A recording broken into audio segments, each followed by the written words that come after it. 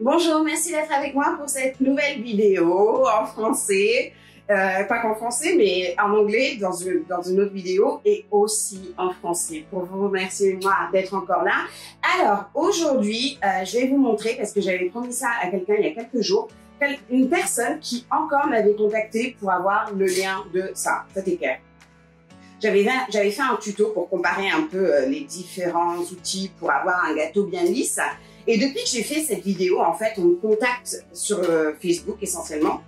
C'est vrai que sur Facebook, en fait, quand on me contacte, oui, c'est pour ça, pour me demander le lien. Donc je le donne, je le donne, je le donne. Et la semaine dernière, j'ai dit, mais en fait, moi, cet équerre, je m'en suis servi. J'avais dit, je m'en souviens, j'avais dit dans la vidéo, oh, c'est génial, j'utiliserai tout le temps ça. Et en fait, je m'en suis jamais resservi. Et je fais mes gâteaux essentiellement avec mes spatules, deux spatules, parce que une est trop courte. Enfin non, avec mes, deux spatules, les deux, là, elles sont bien. Et c'est tout. Donc inutile d'acheter euh, d'acheter l'équerre parce que on peut faire ça en fait. Donc pendant la vidéo, je vais vous donner un de mes secrets qui va vous aider justement à avoir ce résultat. Si vous avez des questions, bah, faites comme d'habitude, vous me les posez en dessous de la vidéo. Et donc là, moi, je vais vous montrer vite fait comment faire le gâteau. Et ensuite, je vais vous expliquer euh, les étapes importantes pour avoir ce résultat sans acheter cet équerre. J'avais parlé de ça aussi, je viens de sortir les deux. Pour mon intro en anglais, j'ai sorti les deux, je fais. Et ça, c'est euh, nul, de chez nul, de chez nul. Parce qu'en fait, si votre gâteau ne fait pas toute cette hauteur, vous n'arrivez à rien. Vous pouvez laisser euh, les bords ou bien quoi, mais cet angle-là, il sert à rien. Et ça, c'est bien, mais c'est inutile. Je vais peut-être réessayer. Peut-être que... Mais non, mais je sais pas. On verra. On va commencer. Je vais vous montrer comment se faire le gâteau. Je vais comme je disais, je vais vous donner un secret, vraiment un secret pour avoir euh, pour avoir ce, ce, résultat de gâteau bien lisse et euh, les étapes à suivre. Donc on va commencer avec le gâteau que je vais cuire et que je vais vous montrer vite la recette. C'est toujours la même de toute façon parce que j'adore et c'est ce qui marche le mieux. Et ensuite les étapes importantes pour arriver à ce résultat. Si ce n'est pas encore fait, n'oubliez pas de vous abonner parce que je vous ferai encore des tutos en français. Et euh, d'ailleurs euh, là la prochaine la prochaine vidéo que je vais vous faire sera vraiment importante, surtout pour vous, parce qu'en fait, je vais vous montrer les pâtes à sucre à dérouler. C'est des marques que vous trouvez dans le commerce. Alors, je parle pas des, vidéos francophones, je parle vraiment de, vidéos françaises, parce que c'est des produits que vous allez trouver en France essentiellement. Euh, je sais pas s'ils vendent à l'international, mais euh, j'en ai acheté et je vais voir ce que ça donne. Donc ce gâteau-là que je vais faire, je vais le recouvrir avec cette pâte à sucre et vous donner mon avis. Donc on commence avec le gâteau et ensuite on enchaîne avec la couverture du gâteau.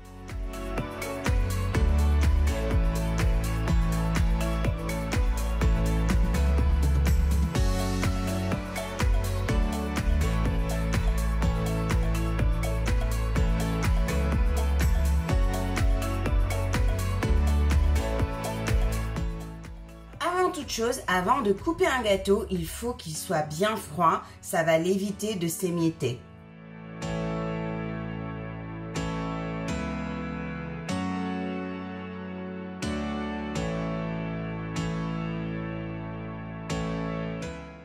Donc pour fourrer, nous avons notre coulis et notre ganache. Et là, pour ce qui est de, euh, de remplir en fait le gâteau, de le couvrir, on va prendre cette très grosse douille qui est extrêmement pratique.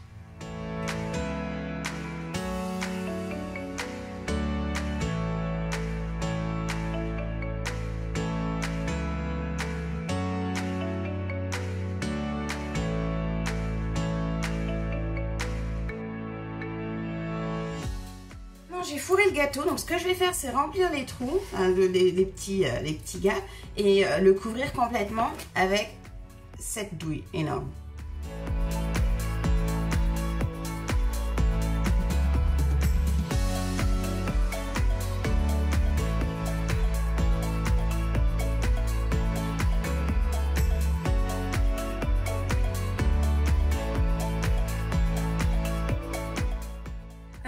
Le gâteau est là. En fait, le secret pour avoir un bon lissage, c'est d'avoir une bonne température entre le gâteau en lui-même et la crème qu'on va mettre dessus. Donc moi, je vous ai euh, montré que j'avais mis une première couche hier soir. Et en fait, le, gâteau, je l'ai mis au frais pendant plusieurs heures. Alors, c'est pas nécessaire de le mettre plusieurs heures parce que euh, dès qu'il est bien réfrigéré euh, et que la, crème a pas, oui, a figé, c'est suffisant pour faire un bon lissage. Moi, ça a été plusieurs heures parce que je suis partie me coucher, je suis partie dormir. Donc voilà. Et donc là, le, le gâteau est bien froid. Et ce que je vais faire, c'est repasser une deuxième couche.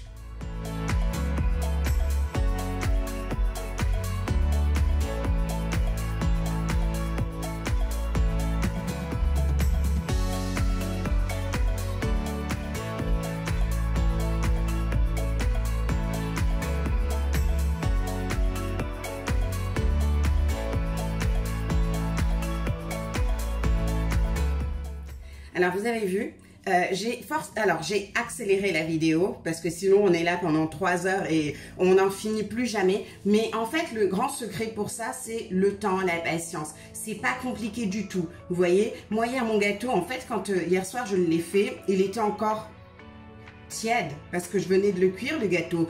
Et donc à cause de ça, quand je l'ai mis au frais, et c'est légèrement décalé. Donc moi j'ai pu rattraper ça justement avec la crème, ça, ça aide aussi à ça. Et ce qui fait que j'arrive à avoir cette forme, c'est de toute façon, comme je disais, la température. Le fait que la, crème au beurre, c'est une crème, c'est une ganache russe, crème au beurre au lait concentré sucré que j'ai fait là.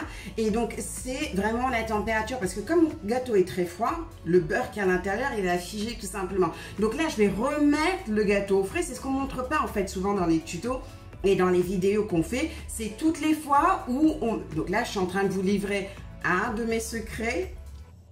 Il y en a beaucoup. Un jour, euh, un jour je ferai sans doute une vidéo spéciale secret, je crois. Mais un des grands secrets, c'est ça, c'est de mettre le, le, gâteau au frais énormément. C'est ce qui nous permet de travailler la crème. Moi, quand je vois que ce soit de la ganache au chocolat, que ce soit la crème au beurre classique ou cette ganache russe, quand je vois que j'arrive plus trop à avoir ce que je veux, hop, au frigo. Donc voilà, et ce sont des crèmes qui tiennent forcément, elles tiennent ce changement de température, donc euh, c'est parfait. Donc là, moi, à ce stade, vous voyez, même pour les, les bords et tout ça, j'arrive plus à obtenir grand chose, plus trop comme je veux. Il y a des petites irrégularités, sont pas graves du tout. Moi, mon gâteau, il sera parfait à la fin de la vidéo parce que c'est ce que je vais faire. Et euh, pour obtenir ce résultat, il va, le gâteau retourne au frais.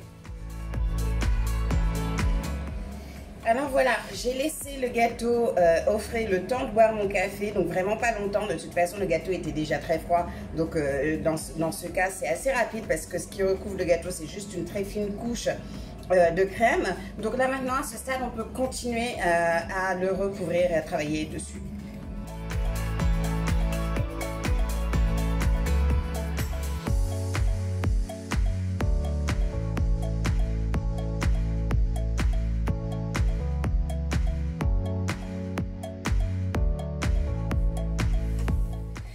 Alors le voilà, le gâteau, euh, ça y est, c'est fait. Donc vous avez vu, j'ai rien utilisé de particulier. Moi, tout ce que j'ai fait, c'est prendre mon temps, le mettre au frais quand c'était nécessaire et c'est tout, vraiment rien d'autre. Euh, bien sûr, ça prend du temps. Bien sûr, il faut être patient et un peu euh, limite, j'ai envie de dire maniaque sur les bords, mais c'est largement suffisant. Je vais pas faire, je vais pas m'amuser encore à, le lisser ni quoi que ce soit parce qu'il va être couvert avec de la pâte à sucre ce gâteau. Donc ça ne sert à rien. Moi, ce que je vais faire la prochaine fois, c'est vous montrer, enfin la prochaine fois, je vais faire un tuto à part pour vous parler des, euh, des pâtes à sucre déjà enroulées.